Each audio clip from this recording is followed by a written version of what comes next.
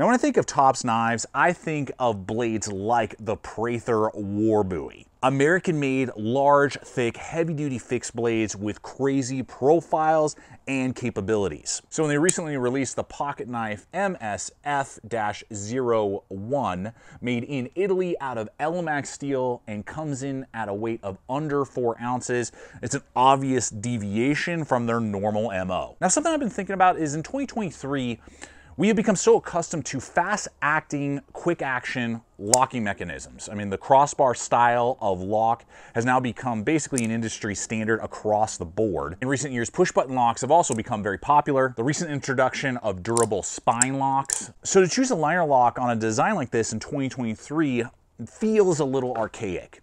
And that means that the materials and the design itself are really gonna have to carry the brunt of the scrutiny for you and me, the astute knife connoisseur, are looking for in a pocket knife. Now let me know your thoughts on liner locks in general. Do you still use them in rotation or have you gravitated to other locking mechanisms in 2023? So I've used this several times in my EDC rotation, really put it through its paces. We have two competitive options to look at that are in the liner lock arena as well. So we have an action-packed video for you guys today. I appreciate you coming over and hanging out with me today. I'm Aaron. This is Gideon's Tactical. Let's go ahead ahead and dive right in. And let's begin with the business end of this blade. Now, MSF stands for Mini Scandi Folder. This does not have a Scandi grind. It has a 3 4 high flat grind, which is excellent. Now, the old version that this is based off of did have a Scandi grind. I reviewed that years ago. I believe it had N690 steel and micarta handle scales. I way prefer the higher flat grind with the Elmax because the flat grind just tends to be more versatile in my experience.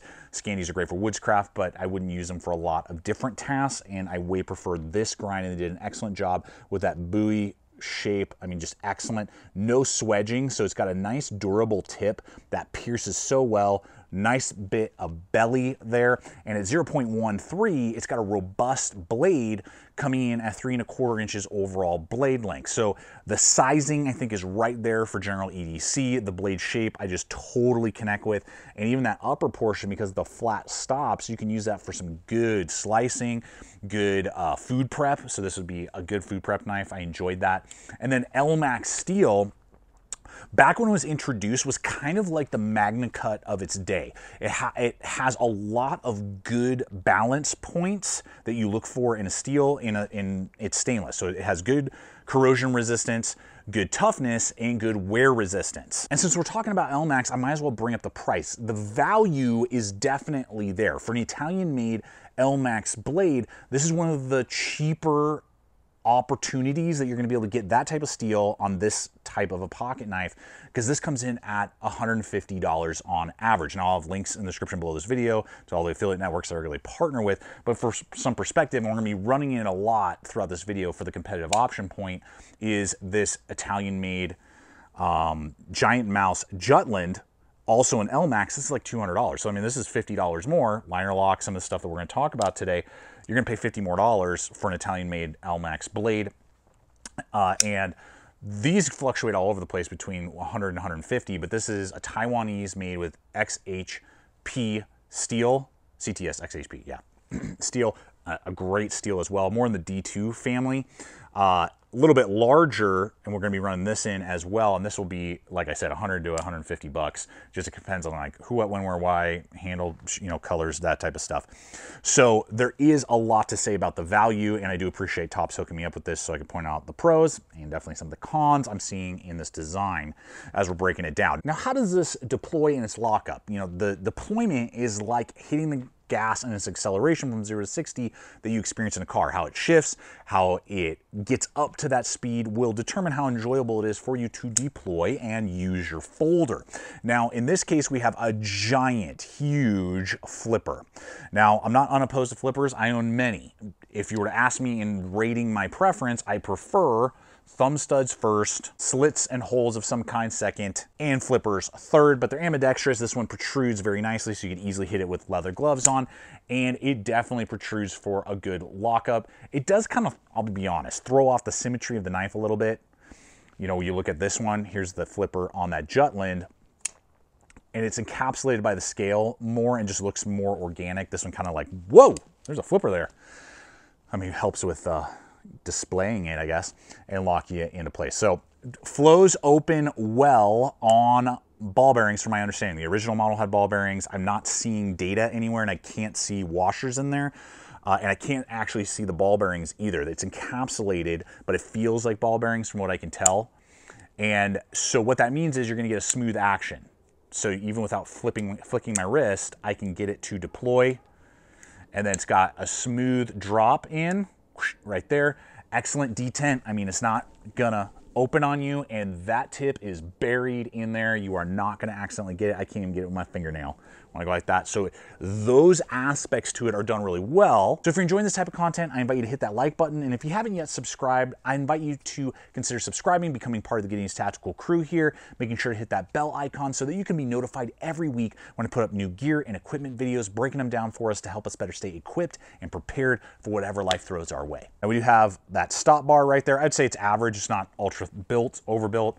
I mean, the Astor right there is thicker and it's about the same thickness as on the Jutland. So since this one's Italian made, they may even be made in the same factory for all I know.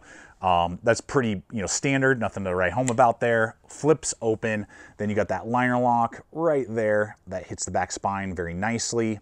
Unlike some ball bearings that are kind of loosey-goosey and you're feeling it kind of rock side to side, that is not the case on this. And then it's zero play up and down, which is exactly what you want.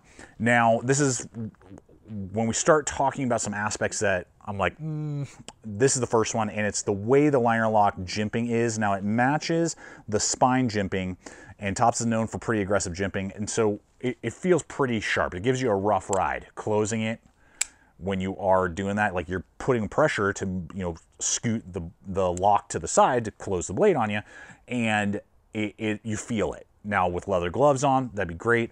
It's just, if you were to ask me ergonomically, the Astor has a chamfered line right there, very easy for me to disengage. I can do it with gloves. That or like light, shallow jimping like that would have been preferred. Now the benefit, thank goodness, is that on this side the scale is flush. They don't really protrude.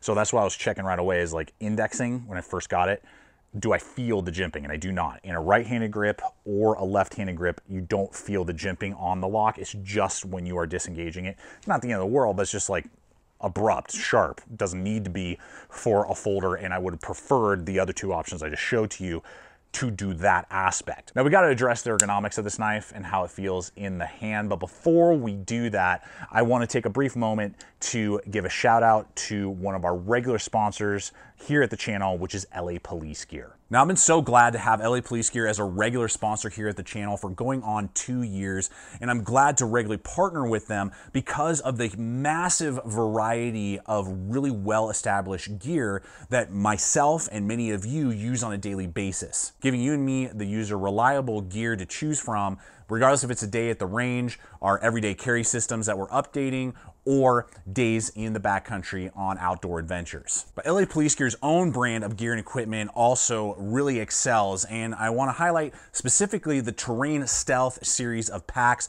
that I've recently tested out two of them and been very impressed with because you're getting a lot of capability for a budget-friendly price point. and it's hard to find all of the features as well as materials in models at this price point. You usually have to, to sacrifice many of those other key features or materials, but LA Police Gear is able to accomplish both and give us a really well balanced messenger bag, sling bag, and backpack. So guys, I'll have a link in the description below this video over to the LA Police Gear website, as well as my exclusive 10% off promo code that you can apply site-wide towards your purchase. Now, when it comes to the comfort level in your hand, what we have are G10 handle scales, black or green currently, that are available. You're gonna get this nice texturing. I really like it. It's not medium, but it's not light. It's got a really good just kind of ribbing to it on those G10 handle scales. The shoulders have all been milled. They're flat it's going to be 0.55 on the thickness, and it's going to be 4.38 overall length, and then 3.8 ounces. So slim in the pocket, light in the hand, flow through construction, milling on those stainless steel liners in there. So they've really done a good job. Here are the two ergonomic issues that I have. First off, again, is just the aggressive jimping. It's not necessary on this type of knife, and just because of how abrupt it is, when you look at it in comparison to blocky jimping like on the Astor or this really fine jimping on the Jutland. I mean, that's way more my preference. Now, if you really like hot, heavy jimping, great, fine. That's awesome. This is gonna have that. Uh, thankfully, there's enough of a flat spot that if I do do that, I can kind of scoot past and almost completely mitigate the jimping altogether. But I mean, if I naturally, I would wanna put it right there. And you, if you're doing hard push cuts, right now as I'm pressing, I'm feeling it and I wouldn't wanna do this for five minutes. Not that you do that that often with a pocket knife, but just you know something to be aware of. The one that's almost more of an issue for me, even than that, is this pocket clip. Now it's ambidextrous, it's thin. Uh, you got the screw on the back. It's got shoulders on the other side, so it doesn't play or move. That's great. Unscrew it, flip it with the flipper, liner lock. You know, it's definitely an ambidextrous blade, so that's excellent. It's thin and flexy. That protruding tip is huge. I mean, in comparison to our other two options, they are not as crazy as that. And what actually ends up happening is there's not much of a gap right here versus, again, the Astors, you're going to get a much higher gap, even though those bolts are exposed on that one. And same here. So what this is what ends up happening for your, like your slacks. This will be fine outside of the flare, and that flare has caught uh, counter edges already. One time it pulled it out of my pocket completely. The other time it kind of damaged the you know, countertop a little bit. It needs to be replaced anyway, but not ideal. This would be like a car scratching magnet, so be aware of that. Now it's thin enough that you can kind of flex it down and kind of help with the not only snagging onto stuff, grabbing things and scratching stuff, but just ergonomically, it, it goes right in the palm of my hand.